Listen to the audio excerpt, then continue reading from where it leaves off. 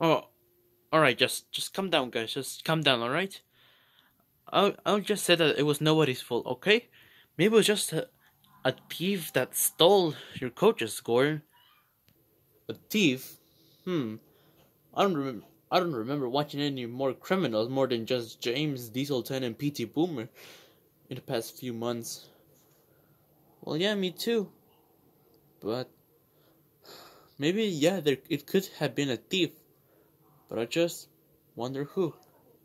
Who could it be?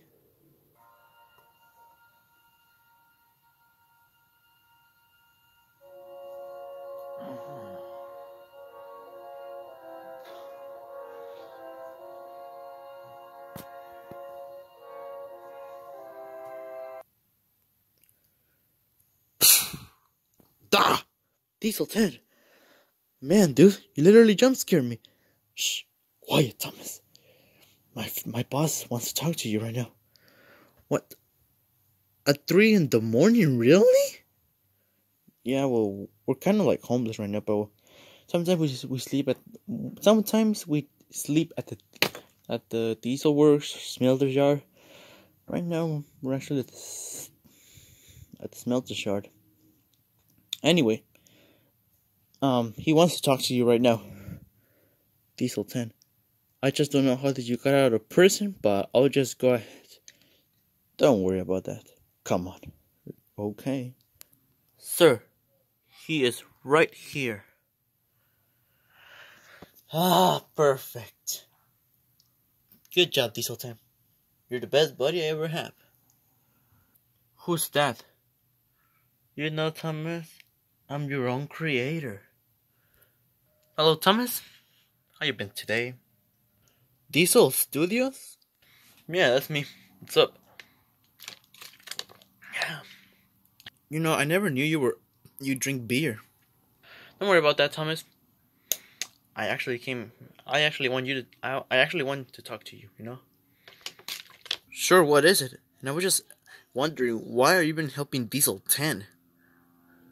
That's exactly what I'm gonna talk. What I'm what I'm gonna I'm gonna talk about, Thomas. Just listen. It it's a long story. It all started like um a month ago almost. Explain yourself. I had received Diesel 10 on the phone call, you know.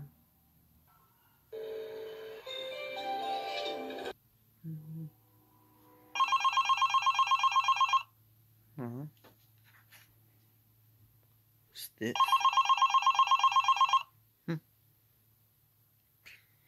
Hello? Meet me on prison in 30 minutes. Sure, why not, but who are you?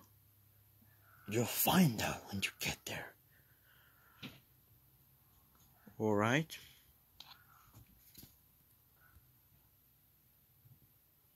Thank you for coming. Well, yeah, whatever. What do you want, Diesel 10? Really? I just need your help. Help with what? You're all finished. Getting revenge on the Steamies and get rid of the magical engine lady. Diesel 10, you already tried your best doing that on the on Thomas the Trackmaster Adventures. Just get over it. You're already you're already defeated, and here you are. You're in prison. Yeah, I know, but I was just wondering if if you help me, maybe we can do this even more better. Don't you think? I forget it, Diesel 10.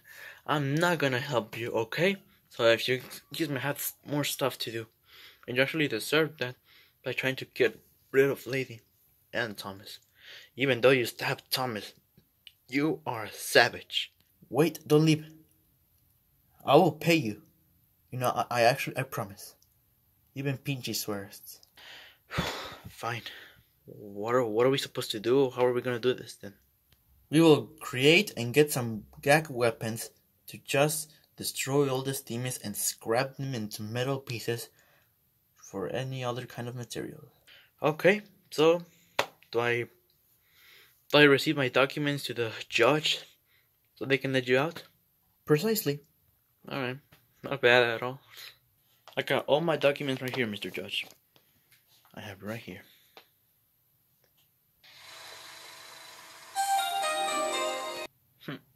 And that was pretty much it, Thomas. Bruh, man, you're saying that you let you show up all your documents to the judge to let out Diesel 10 out of prison? I precisely did, Thomas. I actually did. But why would you do that, Diesel Studios?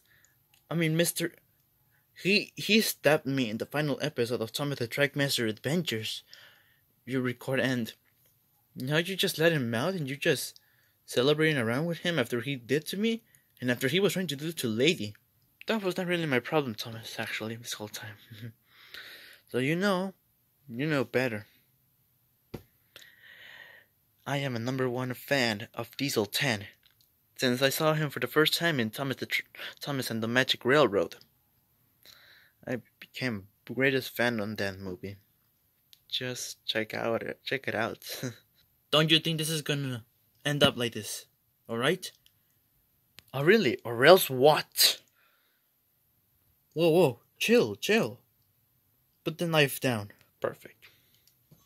I don't need to be a coward anyway. Listen, I'm leaving now.